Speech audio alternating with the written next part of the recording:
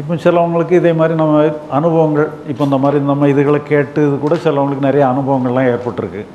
இப்போ அதே மாதிரி தான் ஒருத்தர் கோயில்பட்டியில் ஒரு என்ஜினியர் அவர். இப்போ அவர் ஒரு நாள் ஃபோன் பண்ணார். ஐயா உங்கள் இதெல்லாம் படித்து நான் நல்லா புரிஞ்சுக்கிட்டேன். எனக்கு எல்லாமே நல்லா இருக்குது நல்ல அனுபவங்களோடு இருக்கிறேன். இன்றைக்கி காலையில் நான் வந்து என்னுடைய பைக்கை தொடச்சிட்டு இருக்கிறேன். நானே இந்த பைக்காகவே மாறிட்டேன். இப்போ நான் வேறு அந்த பைக் வேறன்னுட்டு எனக்கு அடையாளமே தெரில. ஞானம் அடைஞ்சால் அப்படி தான் இருக்குமா ஐயான்னுட்டு கேட்டார். ஆமாம் ஞானம் அடைஞ்சால் அப்படி தான் இருக்கும் சொல்லி சொன்னேன். இப்போ ஒரு ரெண்டு நாள் கழித்து ஃபோன் பண்ணார். ஐயா அந்த அனுபவம் என்னை விட்டு போயிட்டுதே. அப்போ ஞானம் என்னை விட்டு போயிட்டுதான்னாரு. நீங்கள் அன்றைக்கி ஃபோன் பண்ணும்போது எனக்கு தெரியும். அது ஒரு நாளில் போயிடும்னுட்டு. ஆனால் இருந்தாலும் சரி நீங்கள் அடுத்தாப்புல ஃபோன் பண்ணுவீங்கன்னு தான் நான் வெயிட் பண்ணிகிட்டு இருக்கிறேன். அது அப்படி தான் இருக்கும். எந்த அனுபவமாக இருந்தாலும் உங்களை விட்டு போயிடும் அனுபவங்கள் முக்கியமே கிடையாது. இப்போ நாம் வந்து அனுபவங்களை புறக்கணிக்கிறது தான் ஞானம் வழி அனுபவங்களை பிடிச்சி வச்சுக்கிறது ஞானமே கிடையாது.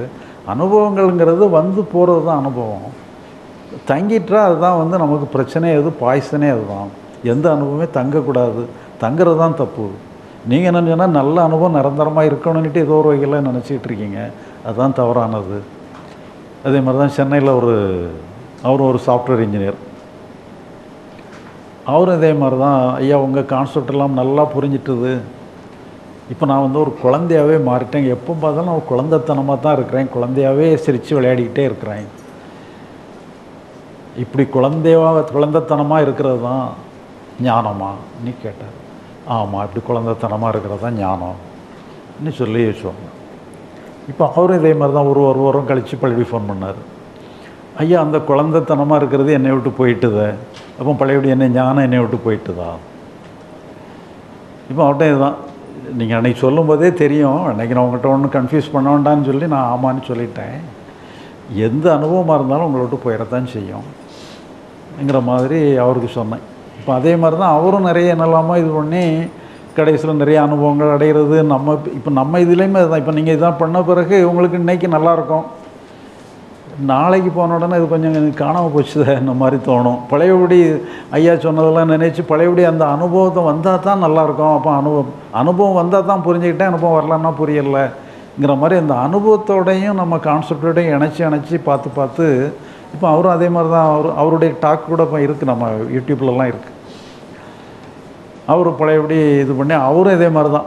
எந்த அனுபவம் வேண்டாம்னு சொல்லி எல்லாத்தையும் கீழே போட்ட பிறகு அவர் நார்மல் ஆகிட்டார் இப்போ அவர் நம்ம இதில் ஒரு டீச்சராக இருந்து நிறைய சொற்பொழிவெல்லாம் கொடுத்துட்ருக்காரு. அவருடைய டாக் நிறையா நம்ம யூடியூப்லலாம் இருக்குது இப்படி என்னன்னு சொல்லி சொன்னால் அந்த அனுபவங்கள் மேலே நம்மளை அறியாமலேயே ஒரு நல்ல நல்லா இருக்குது. அந்த அனுபவங்கள் ஏற்படத்தான் செய்யும்.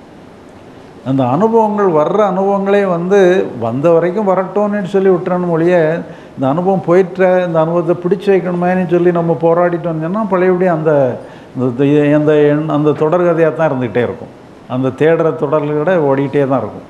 அதனால் அந்த அனுபவங்களை வந்து அது நல்ல அனுபவம் மோசமான அனுபவங்கிறதே கிடையாது. எல்லாமே இயற்கையாக இருக்கணும்.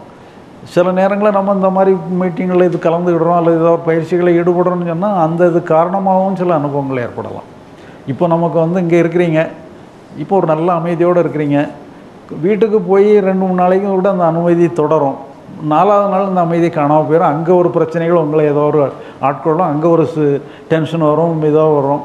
அப்போ நம்ம இதில் நம்ம ஏதோ ஞானம் பெற்றுட்டு வந்த மாதிரி வந்தால் அங்கே ஞானத்தை காணாமல் போச்சேங்கிற மாதிரி நினைக்கக்கூடாது ஞானங்கிறது என்னென்னு சொல்லி சொன்னால் இந்த அனுபவங்கள் மேலே அக்கறை காட்டக்கூடாதுங்கிறது தான் அனுபவங்களை இயற்கைக்கு விட்டுருங்க. இயற்கையில் என்ன வந்தாலும் கரெக்டு அங்கே பயம் வந்தாலும் சரி வருத்தம் வந்தாலும் சரி கோபம் வந்தாலும் சரி நல்லா அமைதியாக வந்தாலும் சரி ஆனந்தமே வந்தாலும் சரி எல்லாமே ஆறு மாதிரி ஓடணுங்கிறது தான் நம்ம கண்டுபிடிச்சிக்கிட்டோம் அவ்வளோதான் அதே நேரத்தில் நான் அங்கே வந்து இயற்கையாக இருக்கட்டும்.